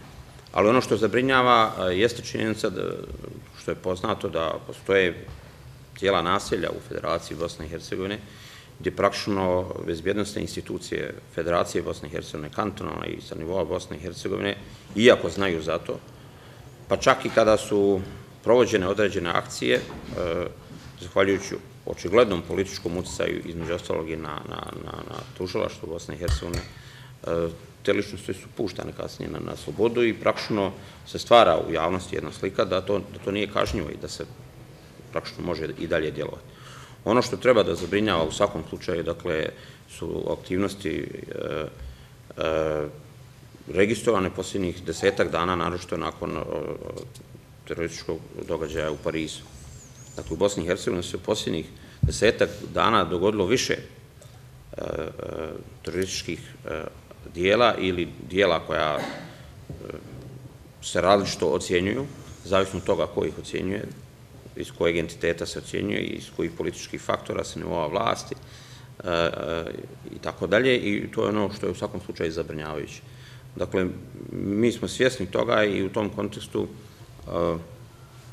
treba očekivati, dakle, da će Ministarstvo unutrašnjih poslova, i to ono što će odbor tražiti i siguran sam, pošto znam da, da će se u Narodnoj skupštini Republike Srpske između ostalog o stanju bezvjednosti u Republike Srpskoj raspravljati vrlo brzo, a između ostalog mi dva puta godišnje u Narodnoj skupštini raspravljamo o radu Ministarstva unutrašnjih poslova, i to, to da vam kažem, i mi imamo u tom kontekstu, ja bih rekao,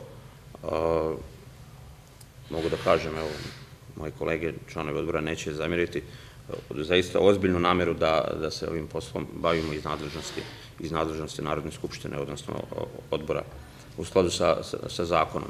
Normalno, treba još puno raditi, postoji volja, postoji veliki nivo političke saglasnosti po ovim pitanjima među nama članovima odbora, ali isto tako želim da vam kažem da smo svjesni ograničenosti određenih e, kapaciteta i određenih slabosti iz prethodnih perioda na kojem će se morati više poraditi i tu zaista očekujem i znam da predstavnici vlasti Republike Srpske i vlasti Republike Srbije rade ono što je moguće i što nije u suprotnosti sa Dejtonskim mirovnim sporazumom kako bi se Republike Srpskoj obezbijedila dakle, njeno postojanje, funkcionisanje, izbjednost svih građana i to je ono što je značajno što nema razloga da se ne kaže.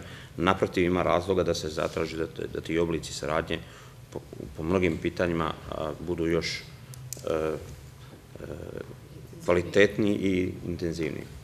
To je ono što u svakom slučaju e, Republika Srpska očekuje i to, ono, to je ono što ne može niko da da ospori. Isto tako, radit ćemo na tome da vrlo brzo e, iskoristimo e, zakonsku koja ovlaštenja i, i zakona o parlamentarnom nadzoru oblasti odbrane i bezbjednosti, da sa našim kolegama na nivou Bosne i Hercegovine, jer tamo sjede e, poslanici birani iz Republike Srpske u, u oba doma parlamentarne skupštine Bosne i Hercegovine.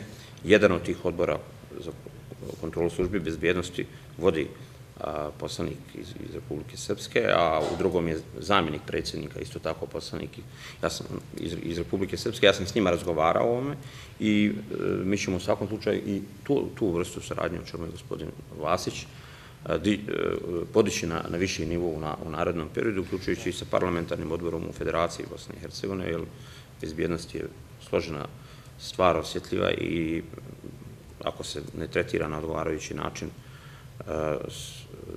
onda, onda mogu da proizteknu značajni problemi.